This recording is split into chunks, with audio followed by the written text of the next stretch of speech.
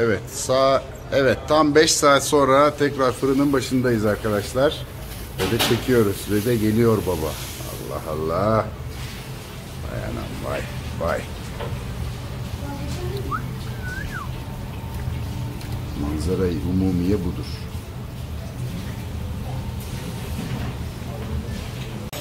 İşte geliyor, işte geliyor gönlümün efendisi. Gerdanı görüyor musunuz arkadaşlar? Ay ay ay ay. Hadi tabağa alalım şimdi. Hadi bakalım. Abilerim, ablalarım, herkese selamlar, sevgiler. Sabah sabah Çukurambar'a geldik. Kuzucu Ali'ye. Kuzucu Ali bir Konya firması. Ankara ve İstanbul şubeleri var. Şimdi önce nerede olduğumuzu göstereyim size. Bakın sağa dönüyorum. Burası ilerisi Konya yolu. Burası dükkan. Sola döndüm. Önümde yatay giden caddede Ceyhun Atuf Kansu Caddesi, Balgat'tan gelen cadde. Kuzucu Ali geçen sene açıldı. Büyük bir işletme. Bugün burada sabahın bu saatinde ne yapacağız? Önce kuzuyu alacağız, keseceğiz. Yani kuzuyu keseceğiz derken kesilmiş kuzuyu parçalayacağız anlamında. Efendim ondan sonra fırına vereceğiz. Kuzu tandır yapacağız. Öğleden sonra olacak tabii bu işler. Çünkü önce kestik. Fırın yandı şu anda. Ben içeriği kontrol ettim. Fırına vereceğiz. 4-5 saat sonra geleceğiz. Son çekimi yapacağız ve tadına bakacağız. Şimdi içeri. Şimdi geldik içeri. Kuzu burada. Az sonra kuzumuzu parçalayacağız ve de işte burada. Mevzu burası. Fırına atacağız. Sonra 4-5 saat sonra görüşürüz. Günaydın. Bugün Kuzuceli'nin Ankara Şubesi Çukurambar'dayız. Şimdiye kadar hiç paylaşmamıştık. Kuzularımızı ne tür kuzular tercih ediyoruz, nasıl pişiriyoruz bunları anlatacağız. Siz göremezseniz de arka planda Boburcan arkadaşımız var. Onunla birlikte bu programı hazırladık. Kendisine şimdi verdiği destek için teşekkür ediyorum. Biz teşekkür ederiz misafir ettiğiniz için. Günaydınlar. Sabah saatimize bakıyoruz. Şu anda 9.40. Dokuz. Evet. Önce kuzumuzu alacağız. Parçalayacağız. Uygun parçaları kullanacağız. Fırın yanıyor arkada. Ben az önce gösterdim. Evet. Odun ateşimiz harika. Taş fırın. Ve de öğleden sonra tandırımız hazır olacak değil mi? Şimdi normalde bu süreç daha erken başlar. Yani biz saat 6 gibi e, fırını yakarız e, ve 11 11 buçuk gibi veya 12 gibi 6 saat süren bir maratonun sonunda bizim tandırımız hazır olur. Ama bugün e, çekim nedeniyle biraz geç başladık. Işıktan da yararlanmak adına. E, bu şekilde. Evet. Şimdi kuzuyla başlayalım. Kuzu kullanıyoruz. Bu bir Konya yemeği. Dolayısıyla hani bunun aslında özünde Konya kuzusu kullanılır gibi geliyor bana. Katılıyorum Bilmiyorum. size. Evet. Ee, şöyle söyleyeyim, e, Türkiye'mizin her yöresinin çok güzel kuzuları var. Evet. Ama her yörenin kendine göre gelişmiş ve alet olmuş yemekler var. Bizim Konya'mızın esas yemeği Selçuklu mutfağından kalma e, fırın kebabı dediğimiz artık günümüzde fırın veya kuzu tandır olarak anılan bir kebap. Ama bunun or- orijinal ismi fırın kebabı. Fırın, uyla. Fırın kebabı. Uyla yazılır. Evet. Ama dilimiz artık e, dönmeye başladı. Fırın diyoruz. Konya'da fırın kebabı deriz. Konya dışındakilerde kuzu tandır deriz. Güzel. Bu e, Konya fırın kebabının yapıldığı kuzu Konya bölgesinde yetişen kuzulardan yapılıyor. Kuyruklu kuzulardan yapılıyor tercih sebebi. O da neden kaynaklanıyor? Kuzu yağı üzerine değil de kuyruğunda bağlıyor. Ve bizim istemiş olduğumuz bu et yağ oranı ideal konuma ulaşıyor. Çok güzel. Biz kuzucel olarak Konya'da, İstanbul'da Ankara'da sadece kuzunun gerdanı kullanıyoruz. Ama normalde adet olanı, e, fırın kebabında adet olanı kuzunun arka bu çatal kısmını yani şuradaki böbrek yatağından aşağı kısmını kullanmayız. Kaburga kısmını, pirzola kısmını, kol kısmını ve gerdan kısmını kullanırız. Evet. Fakat günümüzde artık insanlar yağsız bana Maalesef, yağsız tandırı maalesef, demeye başladığı maalesef. en lezzetli olan bölgesi yani bu döş bölgesi, kaburga bölgesini maalesef yapamıyoruz. Biz dedik ki kuzunun belki siz de görebilirsiniz yağ oran olarak en az olan bölgesi gerdan. Ama gerdan da iyidir yani. gerdan iyidir ama Çok iyidir. kesinlikle. Ee, yağ oranı bizim için ideal ve az olduğu için biz kuzunun gerdanı tercih etmeye başladık. Tamam şimdi az sonra kuzuyu parçalayacağız. Parçalayacağız. Ondan sonra e, ben arkada görüyorum büyük e, tepsilerimiz var. Bakır leğenlerimiz Bakır, var. heh, evet, bakır leğenler var. Bakır leğene atacağız. ve de fırına vereceğiz. Bakır leğenlerde pişirmesinin özelliği şu içerisine yağıyla beraber pişer. Güzel. Bakırın ısı yalıtım, ısı iletimi çok iyi olduğu için onu tercih ediyoruz. Süper. İçeride- Kaç saat kalacak içeride? Ortalama yani bu 5-6 saat süren bir süreç içeride kalmıyor. Konya fırın kebabının özelliği e, belli aralıklarla, bu belki 2 dakika olur, belki 3 dakika olur. Ateşin sıcaklığı durumuna göre leğeni çıkartırız, ekleri çeviririz, Oo. tekrar fırına süreriz. Böyle zahmetli, Çok zahmetli ya. Çok Çok meşakkatli bir iş. Birçok kişi bu kebabın yapılışının çok kolay olduğunu zanneder ama biz hiçbir zaman kebabı işte tencereye veya leğenlere koyup ağzını kapatıp pişirmiyoruz Pişirmiyoruz. belirli aralıklarla sık sık çıkartıp sokup e, çevire pişiriyoruz. Çevire. Tamam. Şimdi Lezzeti başlayalım. geliyor. Hadi başlayalım. Hadi başlayalım. Hadi başlayalım. E, şimdi kuzumuzu parçalama için e, işletmemizin e, baş ustası Abdullah Usta'yı çağıracağım. Bu kuzumuzu e, işleneceği bölümüne göre parçalayacak. Hadi bakalım. Gel Abdullah Usta.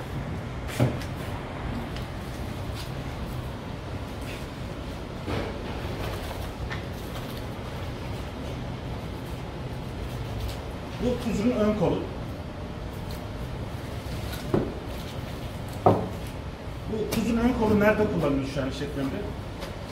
Ee, bu fırın kebabı olarak biz kullanabiliriz ama biz bunu kullanmıyoruz. Bunu genelde kıyma şeklinde çekerek Evet. et ekmekle, kuzu etiminde et ekmek yapıyoruz. Tamam. Şimdi gerdan gerdan çıkıyor. çıkıyor şu anda. Bizim evet, bizim için en önemli olan bölgelerden bir tanesi. Evet. Yani şöyle söyleyeyim, ben 22-23 kiloluk bir kuzu tercih ediyorum. Bu 22-23 kilo kuzu da gelecek bir gerdan ağırlığı ortalama 1,5 kilo, 1,5 kilo geçmiyor. Oo. Tabii şu kanlı bölgeleri de leğene girmeden önce temizlenecek.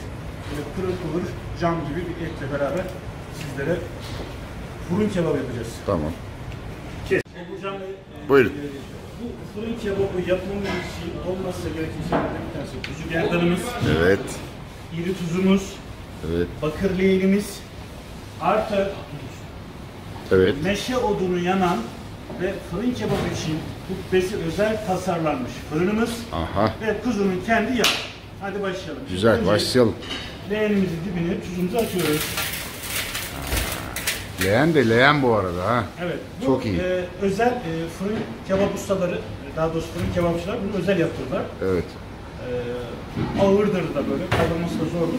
Çok iyi. Farkı budur. Yani böyle ve düşüyoruz. Yavaş yavaş, yavaş yavaş, yavaş yavaş, yavaş yavaş. Şimdi bunu döşedik. Evet. Altında tuz var. Yağ ilave etmiyoruz. Başlangıçta ilave etmiyoruz. Zamanla yavaş yavaş peyderpey peyderpey Evet. olana kadar yağını ilave ediyoruz. Hadi bakalım. Hadi biz etlerini koyalım sonra Hadi. tekrar buradayız. Evet. Evet abi. Abi Hadi işte. bakalım. Şimdi- Gerdanlar dizildi. Nereye gidiyor? Nereye gidiyor? Tam arkaya. Tam arkaya. Hadi İşte. Bismillahirrahmanirrahim. Ve şu an artık hazırlamış olduğumuz kuzu gerdanlar meşe odunu yanan Evet. kebabının fırına giriyor. Böyle ateşin yanına vay, vay, bırakacağız. Güzel. Bu şekilde. Şimdi hemen yanına bıraktık ha.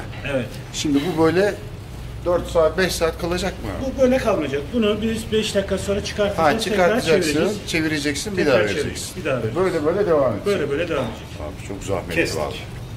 Şimdi abi. Evet. e, kuzularımızı fırına verdik. Yaklaşık bir 5-6 saat kuzunun durumuna göre çevire çevire pişireceğiz. Sonrasında e, piştiğinde o bucamıyla birlikte sohbet eşliğinde kebabımızın tadına bakacağız. Evet. Hadi Şimdi görüşmek üzere. saatlerimizi ayarladık. Evet. 5 saat sonra görüşürüz. Hadi. Hoşça kalın. Hoşçakalın. Abi bu daha 5. dakika ya. Vallahi müthiş. Sese bak. Öğleden sonra ne olur demek o da?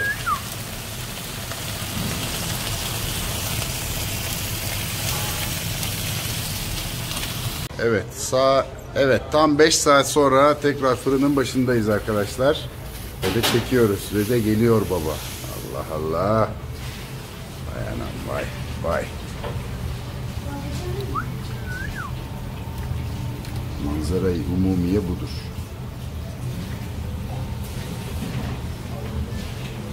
İşte geliyor. İşte geliyor gönlümün efendisi. Gerdan'ı görüyor musunuz arkadaşlar? Ay ay ay. Hadi tabağa alalım bunu şimdi. Hadi bakalım. Ay ay ay. Evet 5 saat sonra nihayet masaya oturabildik. Ali Bey merhabalar tekrar. Merhabalar tekrar hoş geldiniz. Hoş bulduk. Biz sabah geldik beraberce fırını kuzuya attık. Önce fırını e, önce kuzuyu parçaladık.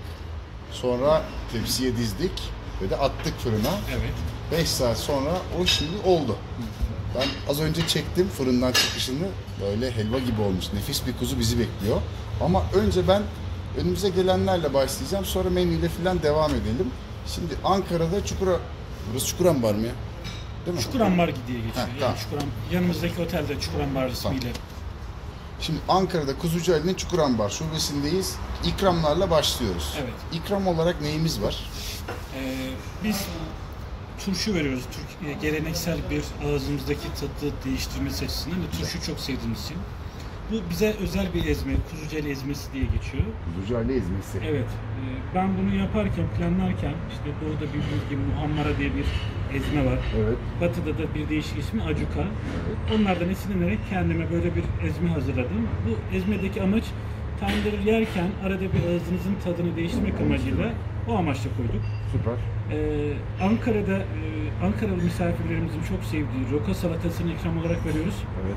Bir de e, etli ekmeğimizin yanında olmazsa olmaz maydanoz ve üzerine de e, sövülmüş biberle birlikte Biber. servis ediyoruz. E, tamam o zaman başlayalım.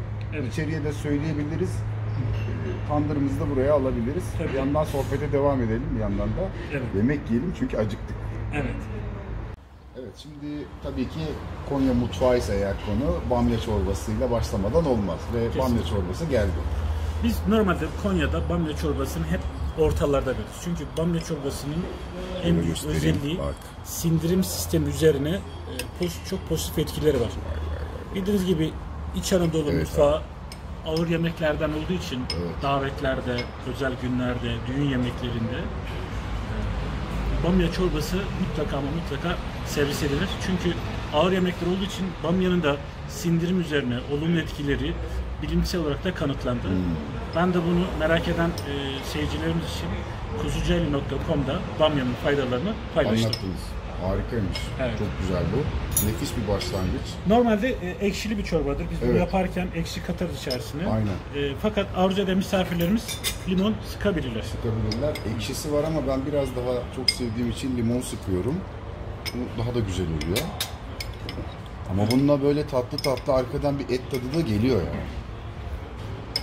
Ve bizim en büyük avantajlarımızdan bir tanesi fırın kebabını yaparken kuzu pişirdiğimiz için kuzunun suyundan bunun içerisine ilave ediyoruz. İşte o oradan geliyor. Bravo. O tabi lezzeti alttan böyle yükseltiyor. Biz şimdi tabii menüde ne varsa yiyeceğimiz için bunları yarım porsiyon söyledik. Hı hı. Yarım porsiyon bu bizi idare eder. Kesinlikle. Ben esas olarak tandırın peşindeyim. Az sonra tandır gelecek. 60 dereceden 100 santigrat dereceye doğru inerken bu yaklaşık bir 5-6 saat bir süreç. Evet. Normalde 4 saatte pişer. 1 saatte biz piştikten sonra fırının koltuk dediğimiz bir bölüm var. Evet. Yani ateş yanan kısmın tam karşısı Ters tarafı. ters Evet, tarafı koltuk evet. diye geçer. Orada eti yaklaşık 1 saat dinlendiririz. O dinlenme olmazsa et yumuşamaz. Normalde et saat 4 saat piştikten sonra et biraz sert olur. Hayır. Ama koltuğa attık mı bir saat sonra et böyle lokum gibi olur. Ve biz sadece hiçbir zaman eti marine etmeden, baharatlamadan Evet, sadece tuzla ve kuzunun kendi yağıyla pişiririz. Şimdi Ve ağzı açık pişiririz. Kuzucu Ali ezmesiydi bu değil mi? Evet. Evet ona da bakalım. Şöyle gösterelim. Kuzucu Ali ezmesi. Hmm.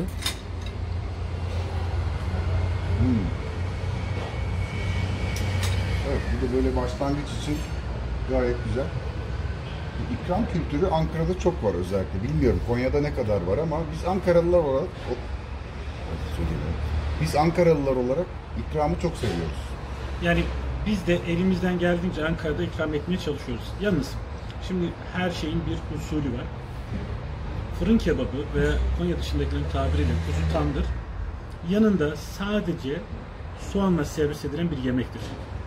Tırnaklı pidesi olmazsa olmaz. Olmazsa olmaz. Bir de yanında soğan. Güzel. Bunun yanına Bekliyoruz. koyduğunuz her bir şey teferruat. Teferruat doğru. Derken, Tandır derken tandır geldi. İşte bu.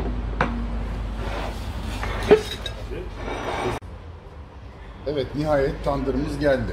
Evet. Bak Biz fırın kebabı diyoruz buna. Fırın kebabı Fırın diyoruz. kebabı Hatta diyoruz. fırın kebabı diyoruz Hatta değil fırın mi? kebabı diyoruz, Fırın evet. kebabı. Yani geçmişteki e, geleneklerimize, isimlerimize sahip çıkmak adına Evet. bu coğrafi işaret işaret almış bir üründür. Evet. Aynı şekilde Konya'nın etli ekmeği de e, coğrafi işaret Coğrafi almış işaretlidir. bir üründür. Evet. Şöyle gösterelim. Şimdi fazla da kaldıramıyorum çünkü gerçekten ağırlığıyla bile kopacak gibi görünüyor. Her şeyden önce ilk baştaki o kokuyu alabildiniz mi? Evet müthiş. Kuzu tandırın kokusu farklıdır. Çok aromatik. Fırın kebabının kokusu farklıdır. Evet. Şimdi biz bunu tabii sabah çekim yaptığımız için ben biliyorum. Evet bir e, kuzu kullandık. Harika küçük boy bir kuzu kullandık. Evet, E, hiç marine etmedik. kesinlikle. Bakır leğende pişirdik. Bakır leğenin dibine tuz attık. Kalın tuzlardan. Kalın tuzlardan attık ve de e, taş fırında odun ateşinde pişirdik. Yaklaşık 5 saat. 5 saat. 1 saatte dinlendirdik. Bir altı saat. saatlik dinlendirdik 6 saat oldu. Müthiş gerçekten. Ali Bey peki sizin markanızdan bahseder. Of bu arada müthiş ya. Çok iyi. Ben konuya girecektim ama konuyu unuttum şu anda. Çok iyiymiş. Biz bunu yiyelim ondan sonra konuşalım ya. ben ne konuşacağımı unuttum şu anda. Biliyorum tabii ki. Kuzucu Ali markası nasıl oldu? Kaç yıllık bir marka? Normalde ben 2014 yılında Konya'da Büsen Sanayisi'nde müesseseyi açtım. Evet. Kuzucu Ali olarak. Fakat e, bu fırın kebap işini biz 2014'te başladık. Geçmişinde babam e, ilkokuldan mezun olduktan sonra e, lokantada çalışmaya başlıyor. Yaklaşık bir 10-12 yıl ve lokantacılık deneyimi var Baba. babadan. Ben de e, hizmet etmesini sevdiğim için e, hizmet sektörüne girdim. Bak bu arada lafımızı unutmayalım. Evet. Çok güzel böyle sıcacık bir lavaş geldi. Şöyle gösterelim. Müthiş. Konya'da bunun e, takdimli e, tırnaklı Güzel pideli olur. Ama bu da e, lavaşla Evet. sıcak sıcak servis etmek anlamında Evet. siparişi verdiğiniz an e, hemen fırından sıcak sıcak size servis yapıyoruz. Anladım. Şimdi 2014'te açtınız. Konya'da açtınız. Benim hatırladığım kadarıyla Büsan Sanayi sitesiydi değil Doğru, mi? Konya. doğru. Yaklaşık bir 3 yıl orada çalıştıktan 3 sonra yıl. Peki. İstanbul'dan güzel bir proje teklifi geldi. Türkiye'nin yöresel lezzetlerinin olduğu bir yemek katı, bir food court. 42 Maslak Plaza'nın içerisinde Türk Lezzet Müzesi, Türkiye'nin yöresel lezzetlerinin olduğu bir yemek katı. Çok iyi. Konya'dan beni davet ettiler. Malatya sofrası var, Adana mutfağı var, künefecisi, baklavacısı, cağ kebapçısı, e, mantıcısı, lahmacuncusu birçok Türkiye'ye özgün yemeklerin olduğu bir yemek katı. Nefis. E, o projede Konya mutfağı olarak bizi davet ettiler ve biz e, yak- 2018'de orada başladık. Şu anda İstanbul devam ediyor. İstanbul devam ediyor. Konya devam ediyor. Konya devam ediyor. Konya'nın başında da babam var. Baba var. Oo maşallah. Ama benim hep hayalim Ankara'da bir e, yer açmaktı. Bu konuda da böyle çok araştırma yaptım. Çukurambar'da yer açmak istedim. Güzel. Buradaki amaç şuydu. Ankaralı misafirlerimize konforlu bir mekanda. Yani Evet. gördüğünüz gibi her taraf açık, esin açık bir havada, böyle ferah bir alanda yemek servis etmek. Bir de eminim bunu öngörmemişsinizdir ama şu anda hani bu pandemi döneminde dükkan gerçekten çok avantajlı. Geniş, büyük bir metrekareye sahip. Şimdi biraz sonra gösteririz biz izleyenlere. İki taraftan iki cepheli, hatta burası üç cepheli ama bütün her yerde camlar açık. Açık. Sonuna kadar açılıyor. Bir şey çok ekleyeyim. havadar bir işletme. Ee, üstündeki e, bu paneller de açılıyor. Alüminyum Ha, üst paneller de paneller. açılıyor. Oo, üst paneller de açılıyor. Evet. Yani ben şey e, şöyle söylüyorum. Akşamları böyle yıldızları seyrederek Aa güzel. keyifli yemekler yiyebilirsiniz. Akşam da bakacağız tamam. Ama müziği kapatalım lütfen. Şimdi bir tabakla doyamadık. Şimdi ikinci tabağı Evet. getirdim. Evet. Burada da ben göstermek istiyorum. Dediğim gibi bunun orijinali normalde e, tırnaklı pideli yemesidir ama sıcak sıcak ta- ta- taze taze yaptığımız için biz bunu lavaş yapıyoruz. Yine Evet. kullanmış olduğumuz un kepek oranı yüksek esmer unlardan yapıyoruz. Evet. Şimdi Ben bir yandan da tabii YouTube çekim yaptığım için bir yandan Evet. da öbür kamerayı kullandığımız için böyle bazen hatlar karışabiliyor. Evet. Şimdi gerçek fırın kebabını nasıl anlarız? Nasıl anlarız? Bu normalde bizim tavsiye ettiğimiz bütün tandırcılar eti e, elle yemeyi tavsiye ediyorlar. Evet. Ve elle yerken bu parmakların birbirine yapıştığını hissederseniz evet bu tandır Şu mevzu değil mi? bu tandır olmuştur. Evet. Yani ben elle Ben yiyeceğim. Şöyle alayım. Allah. Ve tandırın çok sıcak. Evet. Alamadım elimle. Ve mümkünse tavsiyem İyi parçayı bana bıraktın. Teşekkür ediyorum ya. Bak şurada bunu bak. size, bu, yok bunu size hazırlayacağım ben. Öyle mi? Ha. Evet. Ha, iyi parçayı kendini bıraktın. Anladım ben seni. Hayır. Bana göre en güzel parça bu yağlı olan parça, bak, üstteki parça. Tamam abi. Evet. Ve bunun kebabın Yanında olmazsa olmazı. olmazı bu şekilde düreceğiz abi. Bu şekilde vereceğim size. Vay. Hadi bir lokma. Hadi, hadi bir tane alalım bakalım. Evet, bu parmaklar yapışacak değil mi? Bakın. eee, görüyor musunuz? Evet. Etimin nasıl sündüğünü görüyor musunuz? Bu işte kriterdir. Parmaklar birbirine yapışıyorsa kriter budur. Ya çok iyi ya. Anda da daha bir güzel oldu. Kesinlikle. Hatta şöyle elle parçalayacağız. İçerisinde bir parça soğan. Şimdi burada çok kritik bir konu daha var. Onu da şöyle biraz ya- yaklaşabilir miyiz? Bu da Oburcan abinizden size bir tavsiye arkadaşlar. Bak. Şurada bir gizli hazine var. Bak şimdi bak. Şu var ya. Bak, elimi nasıl olsa daldırdım bak. Bak bak bak. Bak bu etin yağıyla ıslanmış. Bak yağı damlıyor bak. Görüyor musun? Aman. Şimdi bunu ne yapacağız? Bunun üzerine bir parça et alacağız. Şöyle. Bu yağ demişken bir şey de vurgulamak Evet istedim. abi. Şu an güvenerek tüketebileceğimiz yağların başına giriyor. Tamamen kuzunun doğal yağı. Kuzun. Bir de şöyle şeyler var ya. Mesela bu kadar güzel bir tandır etimiz var. Kuzu etimiz var elimizde. Biz bunu marine etmemişiz, üzerine baharat dökmemişiz ama bazen ben insanlardan, yan masalardan falan duyuyorum. Üzerine kekik falan dökmek isteyenler oluyor. Böyle yani sinirleniyorum açıkçası. Hani böyle güzel bir ete kekik dökülür mü abi? Açıkçası ben de böyle bir bakın bu arada parmağım nasıl yapıştı onu göstereyim size peçete.